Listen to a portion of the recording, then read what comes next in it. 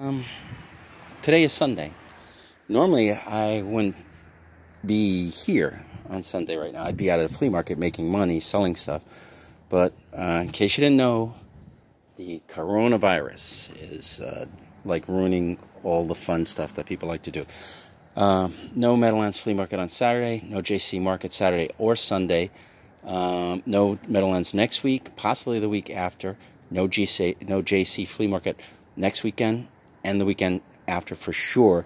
The only thing that's open right now, if you really love flea markets, uh, Columbus Farmers Market, and um, I think Lambertville. You know, I don't know about Collingswood, but I, I know Columbus for sure. Anyway, uh, I might as well show what I got today. Um, we spent $35 on this. And if you want to throw in what we paid for tolls to get to the sale, which was in Livingston, we paid $40 in total. I guess I'll just go through. I paid 15 for the, for this game stuff. Um, and I remembered a Game Boy fun story that I'll tell right after I do this. Um, what I got for my um, 15 was I got this Game Boy Pocket. It's pretty good shape, a little scratch on the glass in the front. Otherwise, uh, relatively clean. Even the Game Boy camera itself looks nice. Um, label a little bit worn, but you know, hey, come on. What's the big deal? That happens. Um, I took the batteries out of this because this didn't power on. It takes six batteries, which I, in my opinion is a ridiculous amount of batteries, but for such a small device, you know. but it does take six batteries. I don't have a power adapter for it, and I do not have the cable to connect, so I won't really be able to test it other than than to um, power it on. Oh, actually, do I have it? It was on. Oh, that's probably why it was dead, because in the on, I flicked it to the off when I took it. Um, one good thing is when I took the batteries out, it was nice and clean. You know, you know I don't see any corrosion. That's the first thing I worried about. Uh, but as of this particular second in time, I have no clue if that thing works. Um, but it is. It's really nice and clean. It looks almost like it just came out of the box. Uh, here's my quick, fun Game Boy camera story that I promised you guys. Um, many years back, I bought a Game Boy uh, Pocket, and it came with a Game Boy camera. Now, Game Boy cameras at that time weren't selling for very much, and my daughter showed interest in it. She was like, "Ooh, can I have that?" And I said, "Yeah, sure, why not? You know, you're my kid, and I just give you stuff, whatever. That's normal." So I said, "Here you go, uh, take it, right?" And I didn't even look at it, right? So my daughter's going through it, and uh, what she finds is that the previous owner, which was a little boy, had, well, used the camera to take pictures. Uh, guess what one of the pictures was? I'll tell you. Uh, the kid took a picture of, like, he mooned the camera. So it was kind of like a butt picture. So I was like, uh, I guess I'm not going to be selling this unless I delete it. And I, uh, and I wasn't going to sell it anyway. And I asked my daughter, I said, uh, what do you want to do with this? You know, uh, she says, I'm going to leave the picture on because it's funny. My, my daughter, even at that age, appreciated things that were uh, kind of ridiculous. But can you imagine getting something like this? And it wasn't a good picture. I mean, it's like 8 bit. it was just really dumb. But uh, it just shows you, even back in the 80s, kids were dumb and they did stupid crap. All right. Uh, maybe this is the 90s. All right. Uh, 35 is what was actually spent on what you see before us. Uh, I spent 15. It was a pretty good deal. And Marie, and uh, to be honest, I have no clue if any of this works. This could all be for parts I don't know. All right, so let me go through what Marie got. Um, 20 bucks. It was the last day of the sale, the last hours of the sale. So they everything was like half price or, or less. They were they were just like just make a pile. Uh, she got this nice little match safe. It's it's uh, most likely silver plate. Uh, there are no other hallmarks to indicate otherwise, but the silver plate is actually really nice. There's a striker on the bottom where you would rub the match to get it going. Uh, but it looks really clean. I don't see any really big dents or like maybe there's a teeny little something there.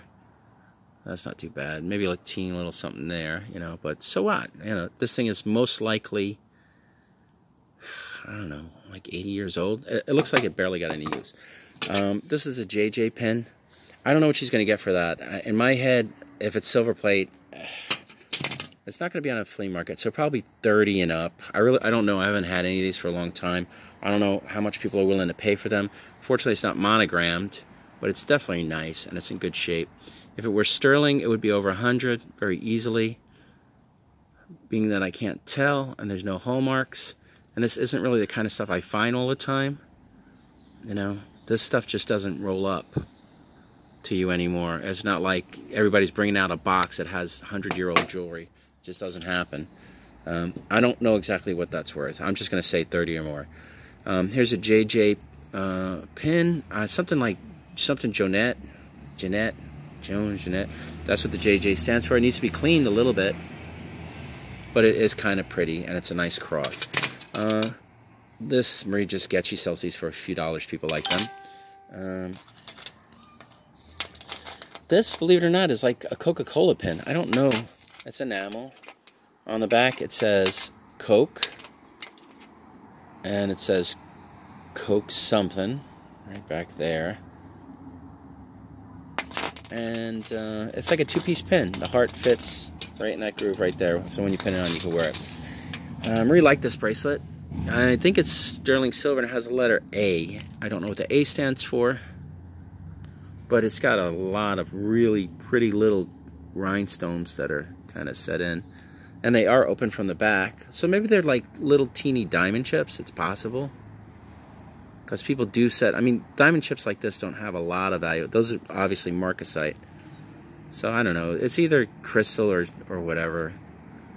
Um, I don't know what the A stands for. If she can figure that out, that'd be helpful. I don't see anything missing.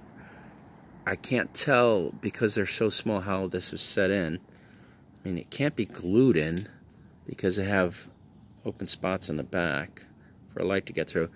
It's just, when you see something like this, also it has the safety cat catch. That's a really good sign. You know, that's, that's jewelry that's well built, uh, built to last built to not just fall over, off your wrist and be lost forever. Um, two more pieces to go. Uh, let me see. What I think she'll get like 15 to 20 for this. So we'll say like 45. This, I don't know, 5 to 10. I'll just say 550, 555. This, unless it's something special, probably like 35. So what I say, uh, 55, 80. Um, this, I'll probably get 70 bucks or so for that stuff. So 80, that's 150. Um, uh, this is pretty. This is like an aventurine, and I believe that's it's sterling. It uh, came with free hair, free DNA, as I like to say. Um, but I, I believe it's hallmark sterling. I just didn't feel like looking really hard and showing you more of the, the, the hair that came with it. But it's just pretty little aventurine um, beads set in uh, a gold-plated silver uh, necklace, vermeil, as I say. Um, this is the last thing she got. Uh, Marie said she found a sterling mark somewhere. It must be really small. Hmm. Wasn't my neighbor smoking some marijuana? She said she found a sterling mark there somewhere. Here's uh, they're basically freshwater pearls and uh, crystals. This this is freshwater pearls. I don't know. Maybe maybe these are just beads. You know, I don't know if these are pearls. Could be. Like here, let me just show that one bead. Freshwater pearls are no big deal though. It doesn't. They're not. Or there you go. So that doesn't look like glass. Um, what do I think? Uh, what do I think she'll get for this? Like, what was up to 150? So say like 30 bucks, at least, and say like I'll just say 30 i'll say 20 just to keep it cheap so we'll make it like a solid uh, potential $200 worth of profit from our uh, $40 investment which is fair that's kind of like a five oh wow that's out of focus which is kind of like a five times your money thing hey where am i going to be i don't know I don't know if I'm going to be anywhere for the next week or, or, or so, two or whatever. I might go to Columbus on a Sunday for the hell of it if they don't shut her down. Um, we shall see. Meanwhile, uh, look, I made a set in my field. You know what? Let me go show that set. I'll show you how I, I take pictures outside while I'm at it. Um, walk over. All right. Uh, say you want to take really nice pictures and it's a beautiful sunny day. One thing you can do is you can make a set very similar to what I have. These are dollar store papers, right? What I did was I took one of the um, uh, cardboards, what I did was I took one of them, kind of creased it, and then put a brick to there, so it's it's a fill card. And a fill card is good for getting rid of some of the shadows that you get from uh, a bright source of light like the sun. Um, this is all I'm going to do. I'm going to, I mean, I'll, I'll turn the camera vertically so I can get closer. And actually, I just use my phone, so you don't even need a fancy camera. But it's as simple as this. I just uh, put it here, uh, a white card background, and you could prop it up behind to make a suite with anything. I decided to use this uh, toolbox. And uh, so there you go, uh, instant photography set that where the pictures, will, the color will look really nice. The, the light is super, super bright.